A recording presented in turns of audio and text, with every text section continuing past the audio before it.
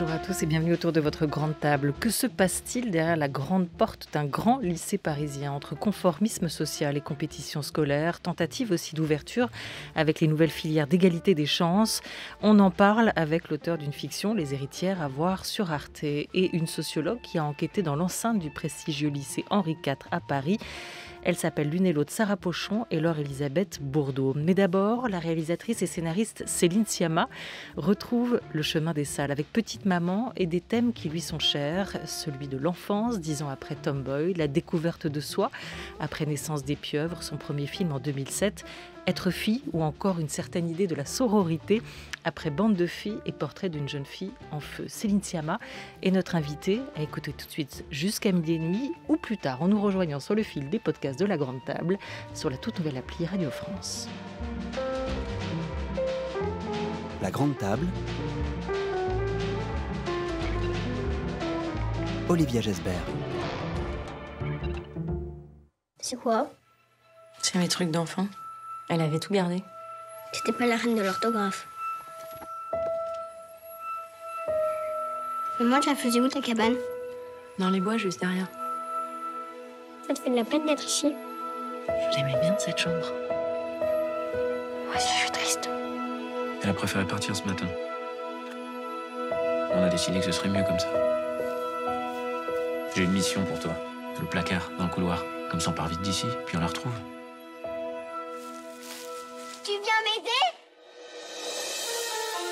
Je t'avais jamais vu avant. Tu m'as pas dit comment tu t'appelais. Nelly. Je suis chez ma grand-mère. Elle est morte la semaine dernière. J'aime bien faire des petites tiges de chocolat et les manger. J'ai retrouvé l'endroit de la cabane de maman. On parlait jamais de quand vous étiez enfant. T'exagères, on te raconte tout le temps. Oui, mais c'est que des petites histoires. J'ai un secret. Je suis ton enfant. Tu viens du futur? Sacré secret. Bonjour Céline Siama. Bonjour. On a essayé d'en dire un peu sans trop en dire. Ce film, c'est comme un songe en fait. hein. L'idée vous est venue comme ça, en dormant ou en rêvant éveillé? Oui, vraiment. Je crois que c'est le seul film dont je puisse vraiment localiser euh, l'irruption comme une image, euh, comme en rêve. C'était, c'était pas une, je, ne dormais pas, donc c'était une- une rêverie euh, éveillée. Mais c'est vrai que d'un coup, j'ai vu apparaître cette situation euh, aussi simple que ça, d'une petite fille qui, qui- qui rencontre sa mère enfant autour d'une cabane. Il y avait déjà cette idée de cabane, et j'ai construit le film de- depuis cette image quasiment qui c'est une figure, une figure qui s'est imposée à moi-même. Mais c'est aussi un film rêve, un film songe, euh, tel que vous l'avez traduit, euh, sur grand écran. Il est euh, comme ces rêves qu'on voudrait coucher sur le divan d'un psy hein, pour comprendre leur signification. Vous, vous avez, vous avez justement choisi de ne pas trop en dire, de ne pas trop donner de sens à tout ce qui se passe là, tout ce qui se joue là. Non, j'ai cherché à, comment dire, à, vivre sur cette brèche, la brèche de cette rencontre euh, fantasmée qui me semblait quasiment mythique entre une, mère et sa fille au même âge, et pourtant d'une mythologie qui n'a pas été racontée. J'avais l'impression de tomber sur une, sur une idée ancienne qui, euh, qui aurait toujours un futur. Et, euh, et je me perds dans ma réponse là. Dis donc, qu'est-ce que vous m'avez demandé? J'ai déjà oublié.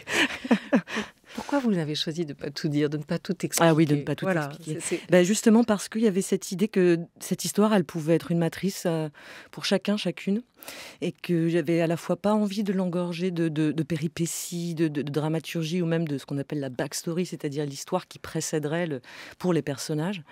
Et j'avais pas non plus envie de le, comment dire, de, le de- mettre dedans euh, mes mes fétiches intimes d'enfant. J'avais envie de le laisser ouvert comme un conte justement, et donc euh, oui, ouvert à toutes les interprétations personnelles. Et pour autant, le film, il joue philosophiquement, il est ludique avec sa question et il l'explore. Et Il, répond, il pose des questions, mais c'est un peu à chacun ensuite d'y répondre avec sa propre histoire. Oui, c'est ça, parce que nous, on a envie de comprendre hein, ce dispositif aussi, euh, tout à coup, de l'enfant qui croise sa mère, elle-même enfant, qu'on entend dans l'extrait de la, de la bande-annonce. On, on a envie de comprendre pourquoi sa mère part un matin, pourquoi sa mère a l'air triste, pourquoi euh, elle n'a jamais réussi à dire à sa propre mère à elle, parce qu'il y a trois générations de, femmes dans ce film, euh, son attachement. Il y a toutes ces choses qu'on aimerait comprendre. Finalement, comme dans ces rêves qu'on fait la nuit et qu'on couche sur le papier le lendemain matin pour essayer de savoir ce qu'ils nous disent.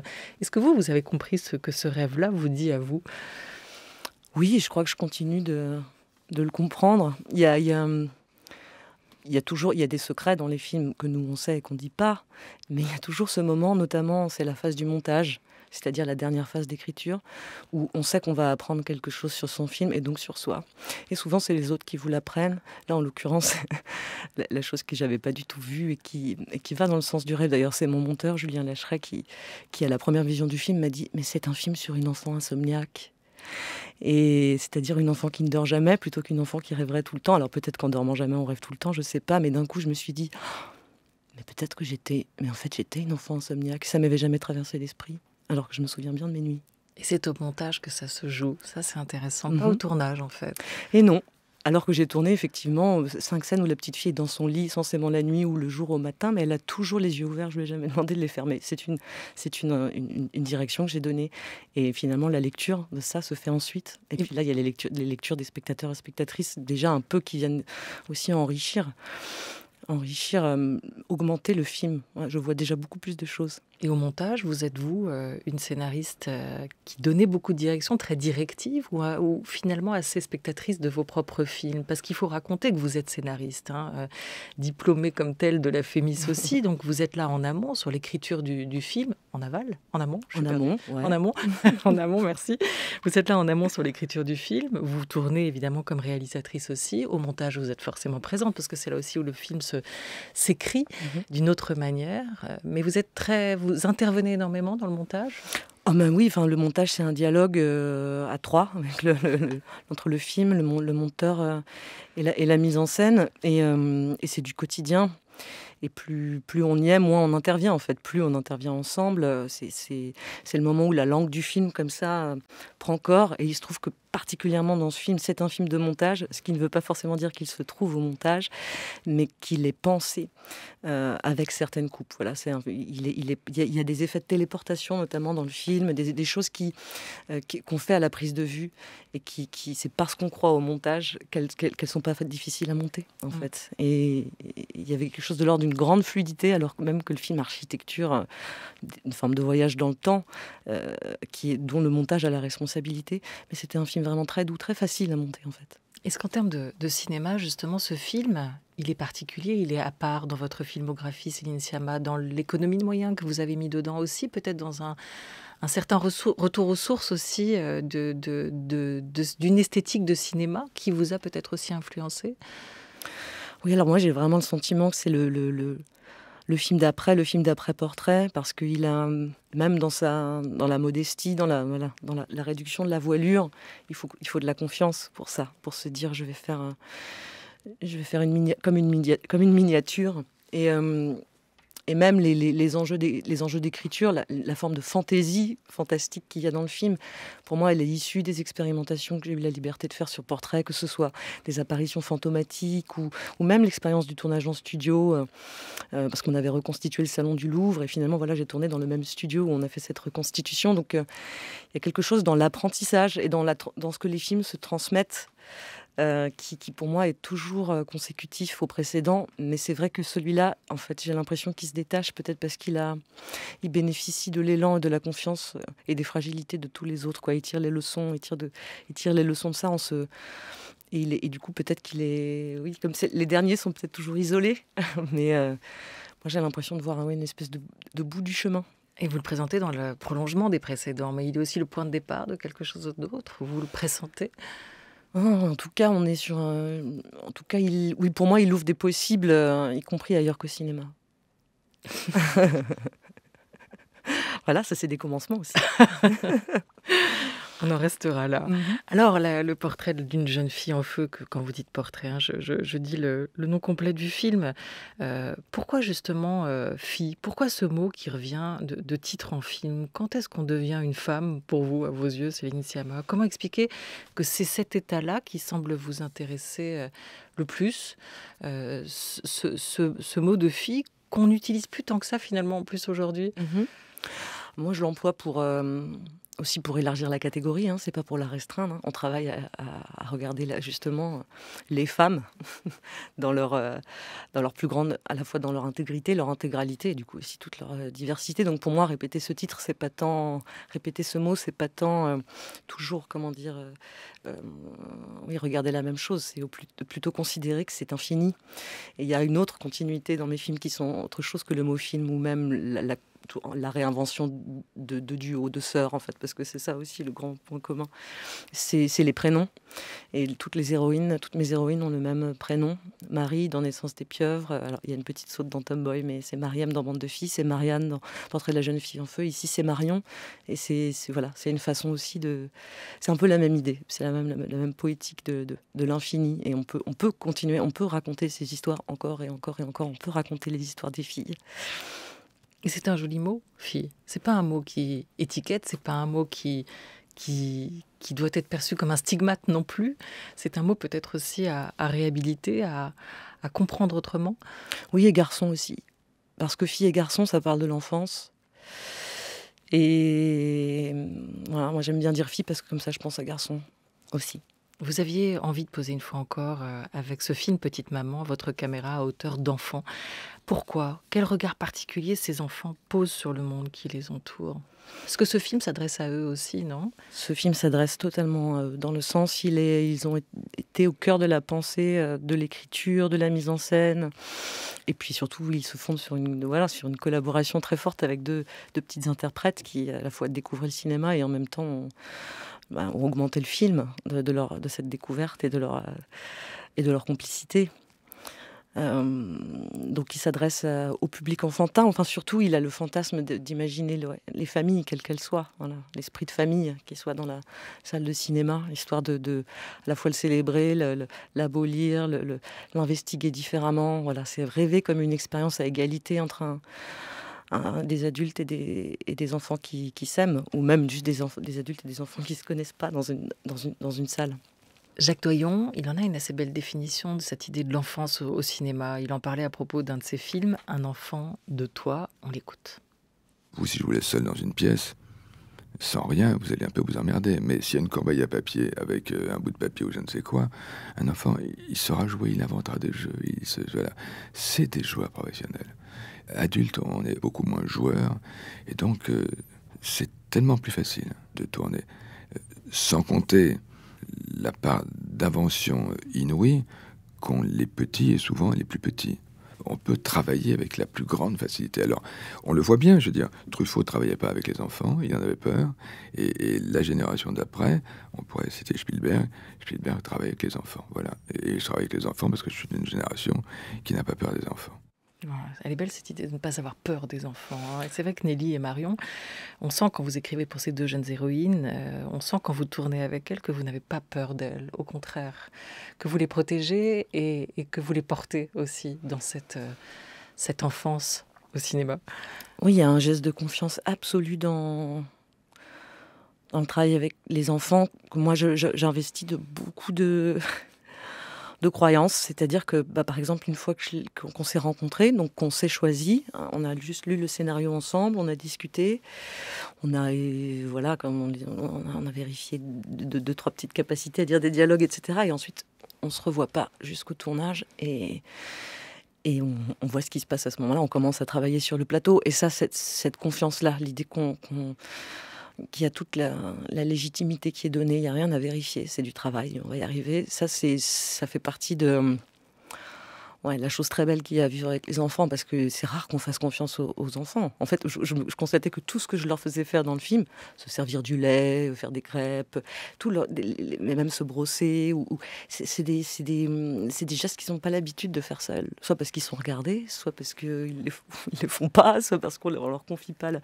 responsabilité de les faire. Et voir des, voilà, les enfants, quand ils sont investis d'une responsabilité, ils sont incroyablement à la hauteur. Et c'est sans doute ça le regard d'enfant. Voilà, pour moi, c'est une espèce de, de regard qui est d'une quasiment, oui, qui est d'une d'une demande qui est une intransigeance aussi, quoi, qui est, un, endroit d'ambition en fait, de de, euh, de, prendre la vie avec beaucoup beaucoup beaucoup de sérieux, quoi.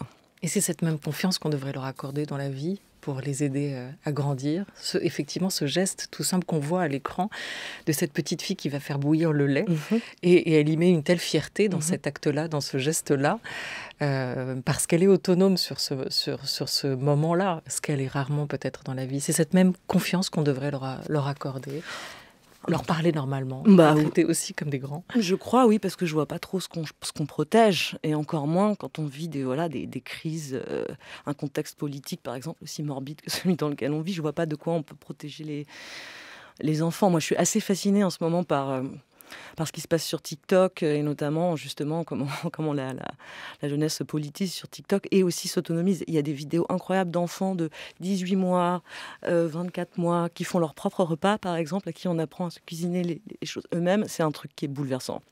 En quoi? En quoi? Bah Parce trop rapide, ça va trop vite. c'est hyper euh, de voir un enfant qui sait même pas marcher, qui a une chaise haute et qui d'un coup se fait cuire son propre repas, ses propres œufs, ses légumes. Euh, c'est franchement c'est une image révolutionnaire parce que c'est une image d'autonomie. Et à partir du moment où on autonomise les enfants, bah alors là voilà, on peut commencer à avoir un vrai rapport avec eux, quoi, parce qu'il y a plus de domination possiblement. Enfin, manger. Manger et puis surtout l'art, de manger, l'art de vivre, l'art de se préparer. enfin, ça, ça l'indépendance chez un enfant, il n'y a rien de plus émouvant en fait. Et peut-être c'est à travers ça, cette idée d'indépendance aussi, que ce film résonne, je trouve, assez fortement avec Ma vie de courgette. C'était un film d'animation qui a été réalisé par Claude Barras. Vous étiez venu nous en parler autour de cette grande table et que vous avez scénarisé. Courgette, c'est un petit garçon qui va perdre sa mère et être placé dans un foyer euh, et retrouver euh, là une forme de bonheur par l'amitié, par la fratrie, par, euh, par l'amour naissant aussi, les premières amours. Vous en avez fait de, de- cette enfance, justement, et on le voit là, un, un territoire heureux, un territoire où on se construit aussi, comme cette cabane qu'on va, qu'on va construire dans, dans la forêt.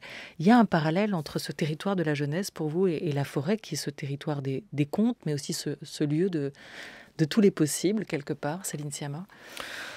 Oui, parce qu'il y a quelque chose de, dans la nature, tout simplement, de, de- d'une une forme de stabilité, en tout cas comme décor de fiction, qui permet à toutes les générations d'enfants, et donc aussi aux spectateurs euh, adultes, de, de- de se projeter dans un espace commun. Et c'est fou comme la cabane. Il y a une pérennité du fantasme de la cabane, que ce soit chez un enfant des années 50 ou un enfant de 2021, qui est... euh, bah, qui est, qui est émouvante en fait, et, et sur la question à la fois de oui de l'aventure et de l'abri. Et euh, bon, c'est une belle tension, c'est ça, c'est les tensions de l'enfance, l'aventure et l'abri. Ouais, Qu'est-ce qui t'arrive? T'as l'air ailleurs? Je me suis fait une copine, je crois. Ça te dérange si je fume une cigarette? C'est pas bien, mais vas-y. Merci. Tu seras d'accord pour que je dorme chez elle? Quand? Je sais pas, elle m'a pas encore invité. On en a encore pour deux ou trois jours. Tu peux dormir chez elle si elle t'invite.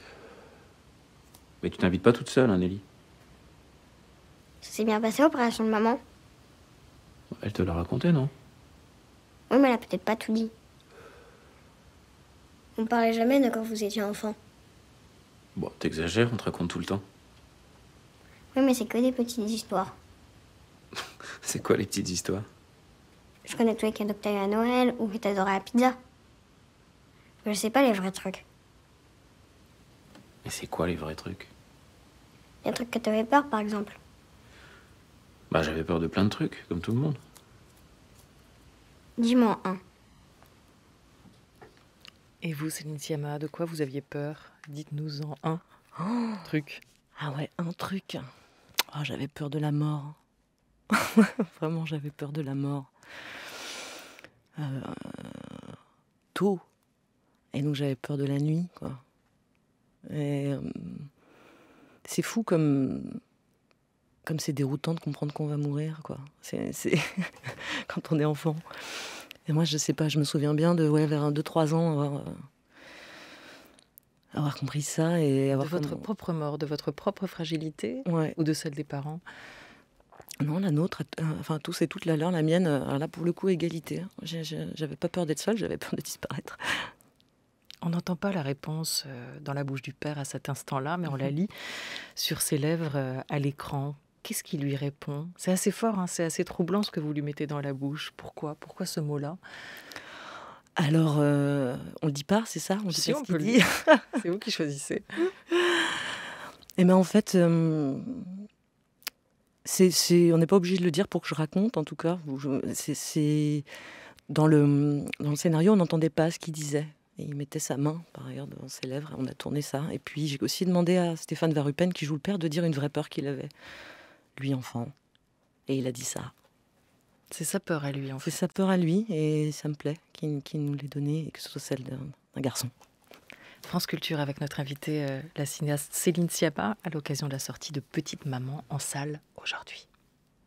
La fille du vent te guidera dans la tempête sur son bateau blanc. La fille du vent t'emmènera au crépuscule au bord du volcan. Et dans un nuage de fumée, j'attends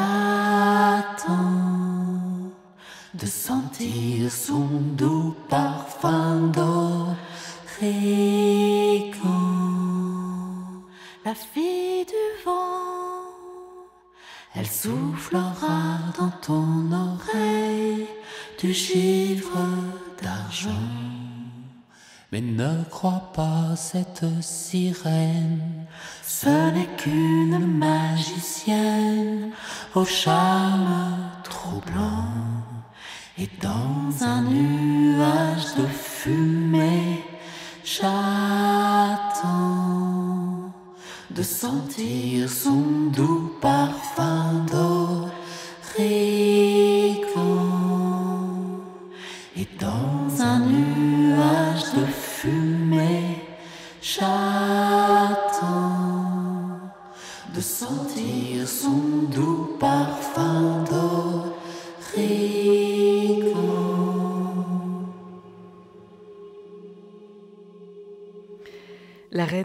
Garçon, premier album euh, chez Modulor, avec ce titre La fille du vent, signé Fabien Guidolet et Delphine Passant. L'album est sorti euh, fin mai, comme une rêverie, là encore, hein, comme une rêverie, lui aussi.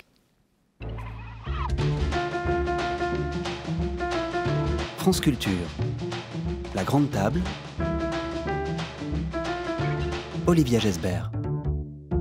Notre invitée Céline Sciamma, comment vous avez vécu euh, le succès presque étonnant, pas par la qualité du film, mais dans l'écho qu'il a pu avoir? On imagine que même vous, vous avez été un peu dépassé par ça, de ce film précédent, Portrait de la jeune fille en feu, prix du scénario à Cannes, César de la meilleure photographie, un peu boudé par le, par le jury hein, des Césars lors de cette cérémonie si particulière, euh, qui lui préféra, ou qui vous préféra Roman Polanski et sa fille grand bruit. Comment vous avez vécu la, suite de, cette aventure-là? Eh bien, en faisant ce film, c'est-à-dire euh, vraiment, moi, ma, chronologie, c'est d'avoir accompagné un portrait euh, de la jeune fille en feu dans le monde entier, euh, jusqu'au vraiment aux États-Unis. Puis je suis rentrée des États-Unis. Une semaine après, c'était les Césars. Et puis 15 jours après, on était tous enfermés chez nous. Et, l'écriture du prochain s'est lancée, quoi.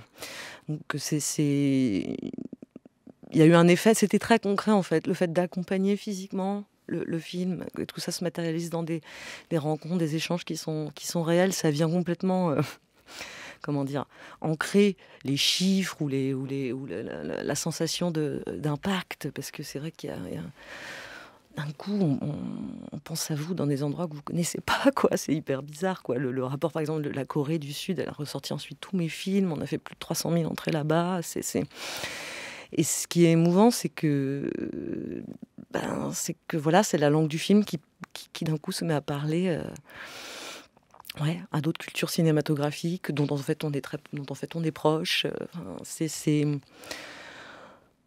c'est, euh, c'est sidérant et en même temps c'est très concret. C'est difficile à raconter. On passe un peu pour une folle aussi quand on raconte ce- son truc, ce truc-là. Pourquoi? Parce qu'il disait quoi ce film qui a parlé, qui a été si universel? Parce qu'en même temps, c'est un film très français, avec une esthétique très française, une, une parole presque, une, une manière d'exprimer des sentiments qui Mhm. l'est aussi. Eh ben, euh, je, je, je pense qu'il a. c'est moins une question de. C'est une question de regard, c'est une question de mise en scène. Je pense que le, le- point commun, oui, des gens qui, qui, ont. C'est cette sensation d'être vu par un film. Moi, vraiment, c'est ça que je, je retiens aussi de, de- beaucoup des, des courriers, de tous les témoignages que j'ai eus. C'est la sensation d'être vu, quoi. Et qu'il y a quelque chose de vital là-dedans. Vraiment quelque chose de vital qu'on qu'on- voilà, qu'on on sous-estime. On sous-estime à quel point c'est important. Et du coup, comment il y a- Quand ça arrive enfin, il y a quelque chose de enfin. Quelque chose comme quelque chose d'attendu, en fait. Et ça, vous, vous pouvez pas le mesurer. Voilà, vous avez votre, moi j'ai ma propre attente en, en référent, mais on peut pas mesurer la, la- oui, la dynamique de ça. Non, mais on peut se dire que c'est c'est beau au fond de faire un cinéma vivant euh, qui porte cette, euh, cette fibre-là que vous évoquez, euh, cette fibre vitale que vous retrouvez quand même dans ce film aussi, Petite Maman, qui est un, hymne à la vie aussi, qui est un, un- éloge de la poésie, de la magie, du fantastique, comme cette possibilité de se laisser aussi emporter par tout ça. Avec ce film-là, vous allez donc tendre la main vers euh, une suite qu'on ne connaît pas et qui a été euh, affichée par un grand silence euh, tout à l'heure. Mais parlons juste d'un projet de ces derniers temps quand même pour Jacques Audiard et avec Léa Missius. Sur quel projet vous avez travaillé ensemble? Alors c'est un, c'est un film qui s'appelle Les Olympiades et qui est une adaptation du, de, de plusieurs romans graphiques Tominé. euh, qui est, qui est un, auteur américain. Euh, et il se trouve que voilà, moi j'ai travaillé sur la première version du scénario euh, avec, euh, avec Audiard et puis, et puis aussi un peu seul. C'était il y a quelques années. Ensuite j'ai fait Portrait, lui il a fait les Frères Sisters et puis voilà, ensuite il a repris l'écriture et puis ensuite Léa Missius a repris l'écriture. Donc voilà, il y a une, quelque chose qui s'est euh, plus- pendant plusieurs années qui s'est construit et, euh, et, et le film est prêt. Et là, le film est écrit, le film est Le tourné. film est tourné, le film, et le film va sortir. Oui, le film, c'est le- demain la conférence de presse de Cannes. Peut-être qu'on aura des nouvelles du film. Ah, Mhm. ah, ah. Je ne sais pas, moi je suis Moi pas dans la. Ouais, ouais, enfin, Ouais. mm. Donc on verra demain si on a des nouvelles du film. Peut-être pour Cannes, peut-être pour le tapis rouge, et puis peut-être surtout bientôt pour les salles. Voilà, c'est vous aussi ça, Céline Sciamma, c'est-à-dire vos propres films et ceux que vous réalisez avec euh, d'autres, ces collaborations que vous avez montées et qui ont, qui ont jalonné votre, votre parcours. Jacques Audiard, euh, aussi grand cinéaste, on est content de voir ce que ça va donner, euh, ce partage euh, entre vous trois avec Léa Missus. Merci beaucoup d'être venu nous parler de Petite Maman qui sort en salle demain. Non, aujourd'hui, on est mercredi. Amont, aval, aujourd'hui, hier. Je suis un peu perdue aujourd'hui. Merci beaucoup, Céline Siamar. Merci à vous.